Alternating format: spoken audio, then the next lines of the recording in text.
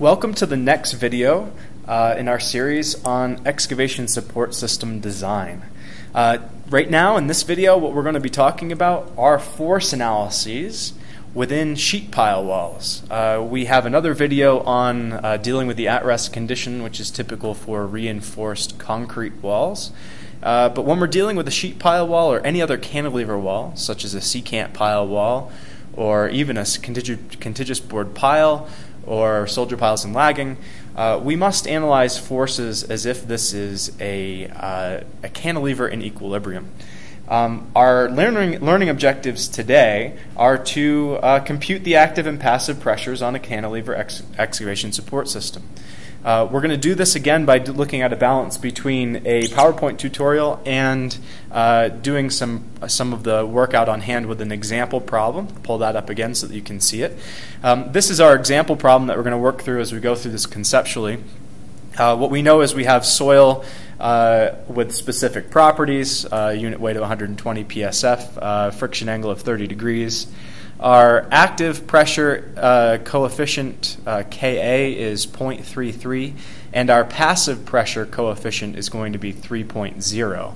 Um, as we talked about in a previous video, uh, the active earth pressure is when we allow that uh, soil to uh, relax slightly, which is going to occur, occur on the retained side, uh, the retained soil above the bottom of the excavation.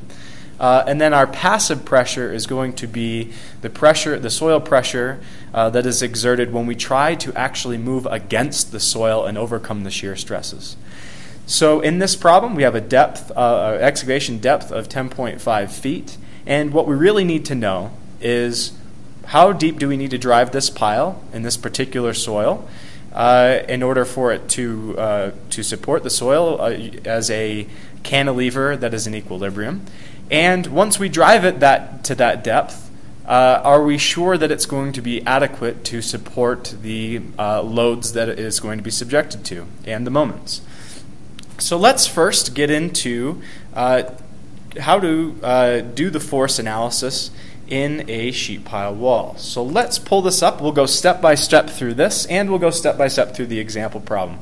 So this resource right here is going to talk about uh, you know, how to set up your problem and how to go through this efficiently.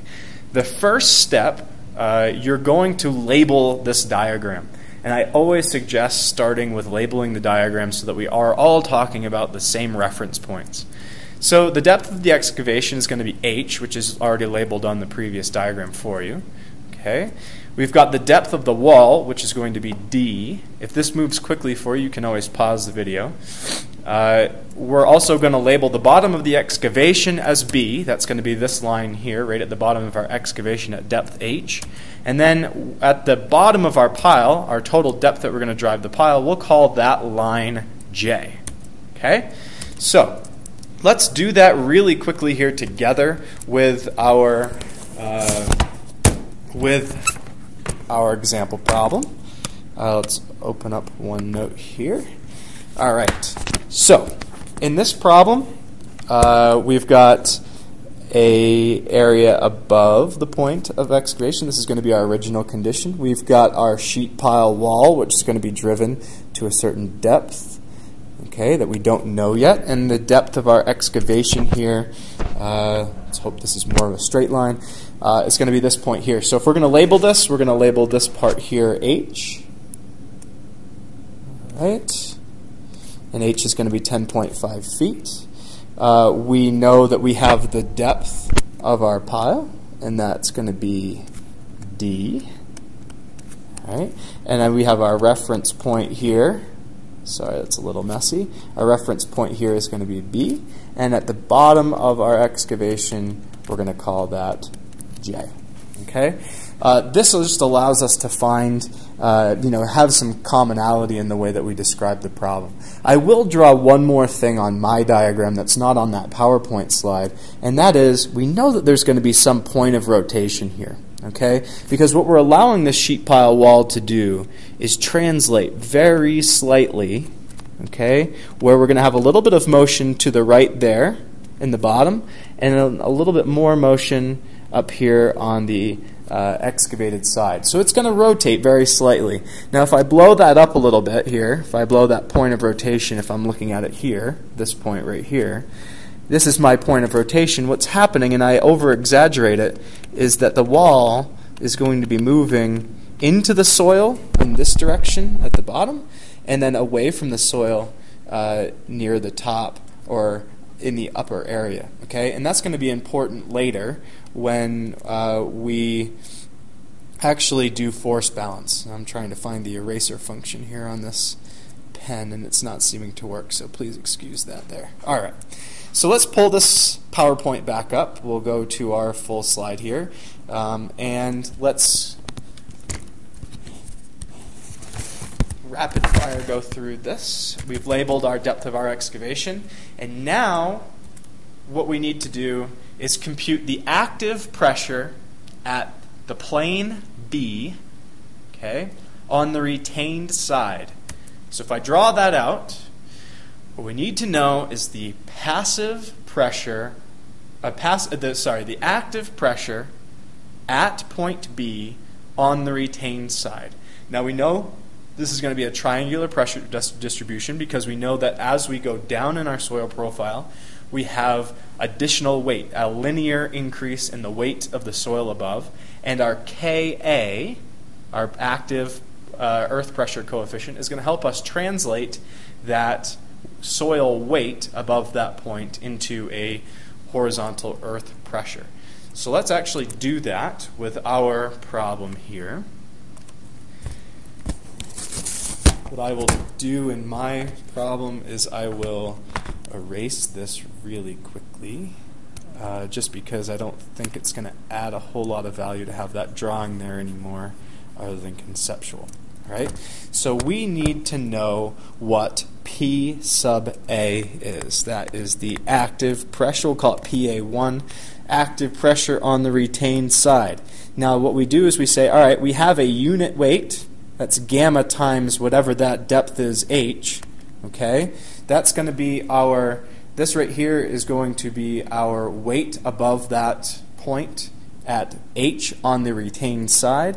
This is our vertical pressure. And then to convert that to a uh, horizontal earth pressure, we need to multiply it by Ka. So in this problem, that's actually very easy to solve for. We have 120 pounds per cubic foot. We're going to multiply that by 10.5 feet and we're going to multiply that by a an earth pressure coefficient here for the passive case of 0.33 and what we end up with in this problem which should be quite easy to do is 416 pounds per square foot uh, and that's our PA1 okay so let's hop back now to our PowerPoint and talk about what the next step is right? So once we've got the active earth pressure, we know that we can look at this, what you're seeing here, we can look at this and say, all right, above the, the excavation at PA1, all right, we know we have active earth pressure. We're allowing that wall to rotate slightly, uh, let's see, counterclockwise. We don't have any passive pressure above that point because we're not moving into the soil anywhere above that point. All right? But once we get below the excavation, what we end up having is some passive pressure on the left hand side, what we call the excavated side, and additional active pressure on the right hand side. But before we get into that force balance, what we need to do is we need to compute all the active pressures and all the passive pressures at all of these reference points, B and J. So let's find PA2 okay, so that we can do these force balances later. PA2 is going to be the passive pressure, uh, the active pressure, my apologies, at the plane J on the retained side. So, in order to find that, uh, conceptually, this actually is quite easy. What we need to do is find all of the weight above that point at J, okay, and we multiply that weight by Ka, our pressure, our passive or active pressure coefficient. All right. Now above point J at this at this plane J, we know we have H, which is the depth of the soil uh, down to the bottom of the excavation. And then we also have this depth D, where we're going to be driving our pile. So this we replace h in this equation with h plus d because we have this additional weight there. Another way to write this would be p for your for your active pressure on the retained side is to is to say pa1 plus gamma d ka will also provide you with the same value. Okay, so let's go to our problem here, and we'll solve for pa2. So we'll scroll down slightly here. And now we're going to solve for PA2. And that's going to be equal to gamma times H plus D times K sub A. And again, that's equal to gamma H Ka plus gamma D Ka where gamma h is the weight above point h and gamma d is the vertical weight above uh, for that whole depth above and h plus d is going to be those two combined we simply replace this with our 120 pounds per cubic foot 10.5 make sure that looks like a 10 not a 16 all right this is going to be 10.5 plus d, we don't know what d is, and times our ka, which is 0.33. And if we simplify that a little bit, uh, we end up with 39.6 uh, d plus 416. Now, all of these pressures, PA1, PA2, they're going to be in pounds per square foot. I tend to leave my units out sometimes only because uh, these problems become very messy if we try to include our units all the way across. So if we always know that our PA1 and PA2 and what we're going to see PE and PJ later, uh, as long as we recognize that these values are pounds per square foot, uh, we're going to be good. So let's pop up our, our PowerPoint again here. And we're going to move a little bit more quickly now that we understand how we're doing this. We're always taking the vertical weight above a point and then translating that either using the passive or the active pressure depending on which one it is. So let's pull up our PowerPoint uh, and we will move on to the next pressure. Now, We've computed active pressures, but as we mentioned, below the point of the excavation, there is a passive pressure on the retained side, which means that if we tried to rotate that pile into the soil, uh, if we tried to push that pile into the soil uh, to the right hand side of what you're seeing now, that soil would resist our motion. Okay? It would not want to, us to move against it, and in order for us to actually create movement, we'd have to overcome the shear stress. So we know that that is a very high force, okay, or very high pressure. Now, if we want to compute the passive pressure on the retained side at J, all we need to do is find the vertical weight above point J and multiply it by the passive pressure coefficient. Now, this should look very similar to what we just computed for PA2, which is shown here uh, in the left hand side at the bottom of J, at J. All we're doing is replacing it, uh, Ka with Kp because we're dealing with the passive pressure. All right. So let's go to our notebook. Compute this very quickly. Excuse me. Uh, we'll do this over here to the left. Let's compute. Uh, this is the passive. Call this passive at J. You know, it's at the retained side we don't have necessarily a uh, an abbreviation for that, so uh, we'll just label it as such, and we know that that's going to be the weight of the soil above point J, which is going to be gamma H plus D, just multiplied by Kp. And if we do that out, we end up with 120 times 10.5 plus D, and instead of 0.33 for our, active, for our active that we used over here, we're going to use the 3.0 value that we are given uh, up above here in our problem in our soil properties. Okay, you should be able to see that here. All right, that value ends up becoming uh, excuse me, make sure I got my calculations right here. Uh, what we're going to end up having uh, for our passive pressure the retained side is 360D plus 3780. And again, that's PSF. All of these pressures are in pounds per square foot.